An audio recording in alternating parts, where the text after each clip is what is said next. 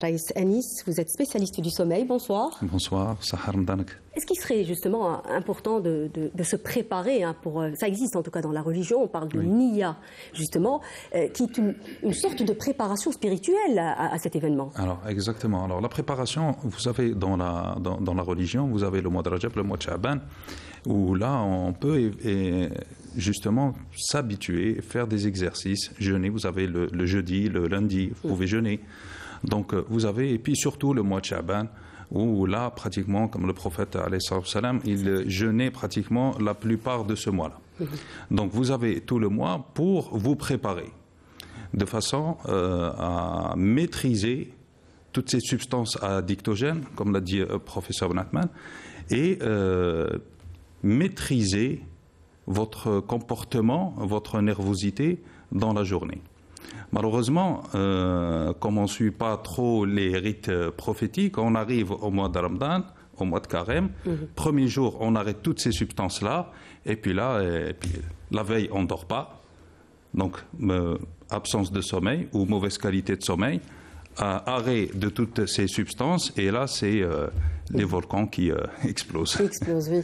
Si on revient un peu au, sommeil, parce que je pense que c'est le premier élément qu'on incrimine hein, finalement dans cette irritabilité, Qu'est-ce qu'on peut dire sur notre sommeil pendant le ramadan finalement?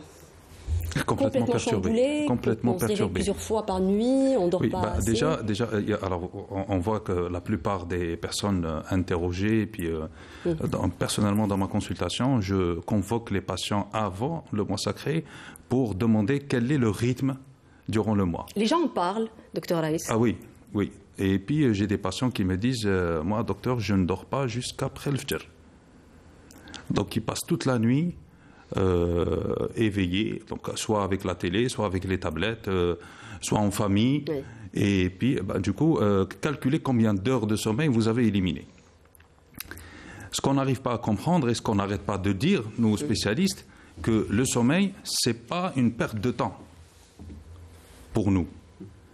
Comme vous avez, par exemple, on a tous des voitures, vous prenez votre voiture chez le garagiste, périodiquement eh ben, votre corps, euh, le, bon Dieu, nous a créé et nous a donné cette période de sommeil de 7-8 heures dans les 24 heures. C'est une période de réparation. C'est clair. De, euh, de, de, refonte, si vous voulez, de tout ce qui est nécessaire pour l'être humain.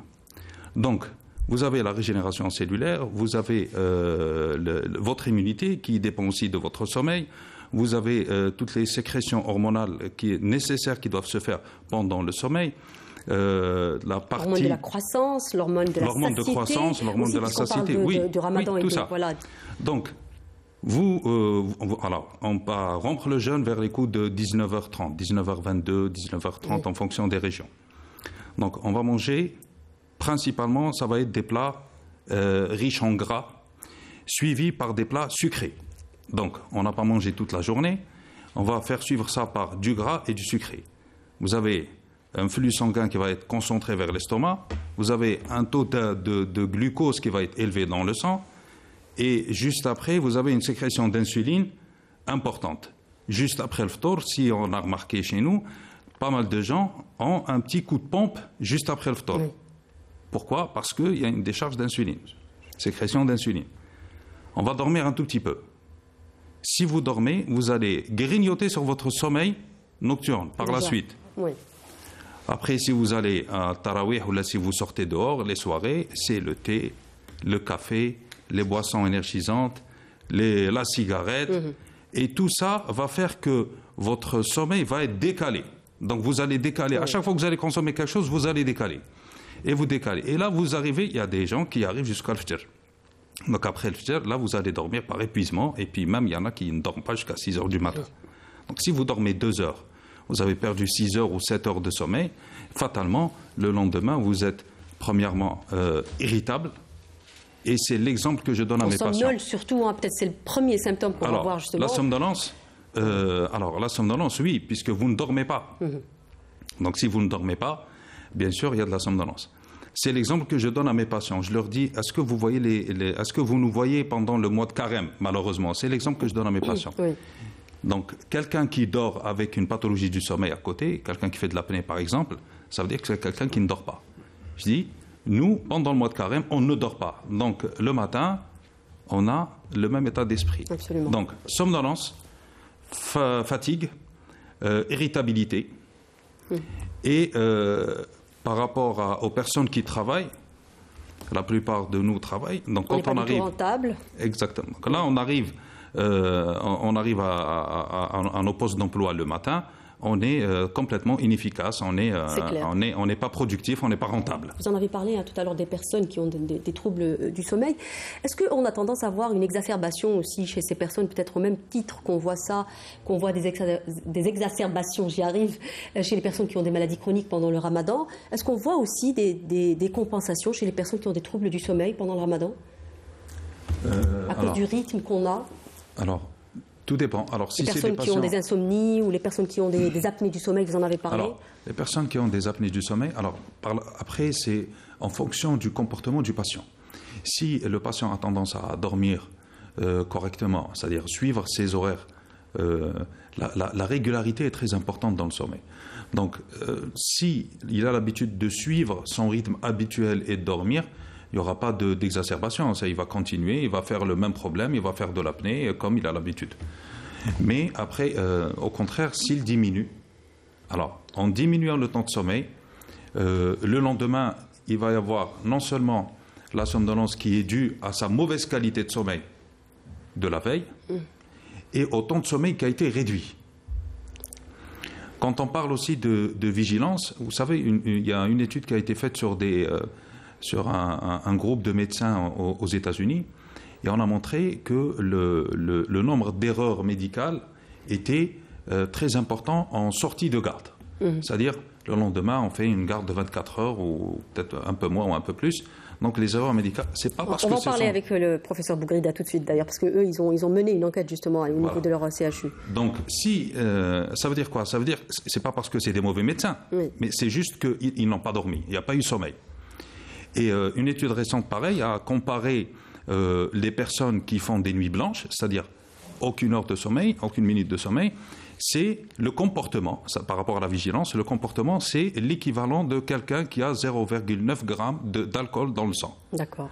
Donc, vous imaginez bien que. C'est à quel point c'est dangereux. Ah, exactement. Donc, sur le plan de l'accidentologie, c'est très important parce que vous voyez peut-être que l'accident va arriver, mais vous avez, euh, votre cerveau ne réagit pas à temps pour pouvoir freiner à temps, par exemple, d'accord Vous prenez pas la décision. Pas la réactivité. Exactement. Baisse de la réactivité et baisse de la vigilance. Alors on a compris euh, qu'il faut dormir euh, avant minuit, ça c'est très important, mais c'est très difficile à, faire concrètement. Euh, quels sont les autres conseils Concrètement, j'ai envie de dire, qu'est-ce qu'on peut conseiller aujourd'hui à une personne qui a du mal à, dormir tôt, comme, comme beaucoup d'Algériens Il y a un point culturel, encore une fois. Alors, premièrement, il faudrait. Alors, idéalement, c'est de se préparer avant. Avant le mois sacré. On va dormir, on va dormir à, 23h30, pas à, quelle heure euh, Parce c'est un peu difficile. Oui, il faut créer un rituel. Alors, le, plus important dans le sommeil, si vous voulez, c'est la régularité. Mhm. C'est-à-dire, il faut euh, connaître déjà son besoin. Vous avez des besoins qui On n'est pas tous égaux. Exactement, on n'est pas tous égaux face au sommeil. Donc, vous avez des personnes qui auront besoin de, en moyenne, 7-8 heures de sommeil, et vous aurez des personnes, après 5-6 heures, ils sont en forme. Vous avez d'autres qui ont besoin de 9 heures. Donc, il faudrait d'abord déterminer son besoin. À partir de là, on va voir quel. Après, ça dépendra aussi du sommeil en lui-même, de la qualité, pas uniquement de la quantité du sommeil. Exactement. C'est si on ne se réveille pas, si voilà. Exactement. J'y arrive. Donc, déjà connaître son besoin, premièrement. Deuxièmement, euh, quelle est la plage horaire que j'ai pour pouvoir me rapprocher de mon besoin. Mhm. C'est-à-dire, à quelle heure je peux dormir, à quelle heure je dois me réveiller, pour, le soir par exemple, pour ceux qui doivent se réveiller, qui, ne veulent, qui, veulent ou ceux qui ne veulent pas, et à quelle heure je dois me réveiller le matin pour aller au travail, puisque je dois calculer le temps du trajet. Donc, quelle est la plage horaire euh, euh, disponible pour pouvoir arriver à mon besoin.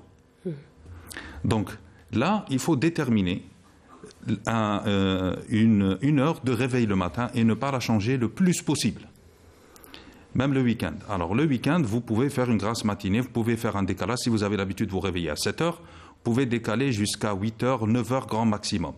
Et ne pas aller jusqu'à midi.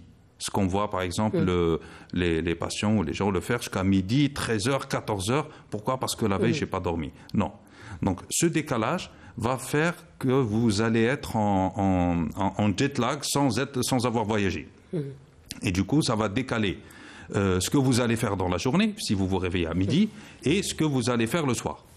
Donc, vous êtes en train de dire qu'une bonne nuit de sommeil, ça se prépare dès la journée ah oui. Réalité, oui. Pour, pour bien dormir, il faut déterminer d'abord l'heure de réveil. À quelle heure vous allez vous réveiller le matin. Par la suite, euh, ce que je conseille aux patients, pour ceux qui n'arrivent pas à dormir avant minuit ou pas assez, c'est de faire des petites siestes. Alors, c'est des petites siestes flash, mm. par exemple, juste après, euh, euh, on va dire vers les coups de 13-14 heures, mais ne pas aller après l'asr, c'est-à-dire vers les coups de 16h30, 17h. Pourquoi? Parce que là, vous allez grignoter sur votre sommeil nocturne. Mais vers les coups de 13-14 heures, vous pouvez faire des petites siestes, et là, ça va vous aider. c'est une sieste rafraîchissante, on appelle ça, et ça va vous aider justement à compenser pas à réduire, pas à, combler votre dette de sommeil. Parce que si vous dormez 7 heures et vous, vous ne faites que 5 heures, les 2 heures, vous n'allez pas pouvoir les faire dans la journée, c'est pas possible. Oui. D'accord? Donc la petite sieste, ça va vous aider à compenser un tout petit peu. Alors il y a un autre point aussi euh, sur lequel on est passé trop rapidement, hein, les, aliments addictogènes. Comment peut-on euh, euh, conseiller encore une fois les gens qui nous regardent ce soir c'est-à-dire, par exemple, combien prendre un café ou deux Est-ce qu'il faut privilégier un café décaféiné, par exemple? Parce qu'on a tendance à poser la TR, à poser la cafetière et à la, à la consommer tout entière. Oui, alors ça, c'est très important aussi. Donc, euh, toujours pareil, moi je, je, dis toujours qu'il faut préparer ça bien avant le mois sacré.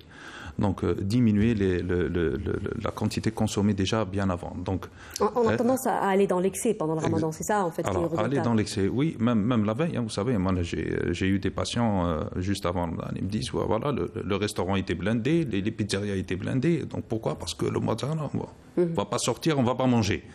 Voilà, bon, après, vous avez le mois, et puis on voit les pâtisseries, euh, il y a du monde, euh, les gâteaux, il y a du monde, au marché, il y a du monde.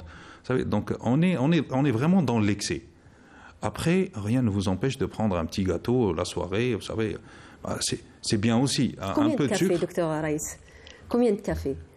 Euh, Idéalement, pas de café. Idéalement, pas de café. Après, si on est vraiment, si on est vraiment addict, un, café, il suffit largement. C'est une réponse qui risque de ne pas plaire aux gens qui nous regardent. Oui, je sais, je sais. Soyons raisonnables, docteur Raïs. on peut prendre, on peut prendre, on peut prendre un café juste après le ftour. Après, il faut euh, essayer de le faire léger aussi. Mhm. Ça serait bien, décaféiné si on peut. Un seul café? Un seul café suffit largement. Cette émission est arrivée à son terme. Merci à vous de nous avoir euh, prêté attention. N'oubliez pas de nous suivre hein, sur les réseaux sociaux.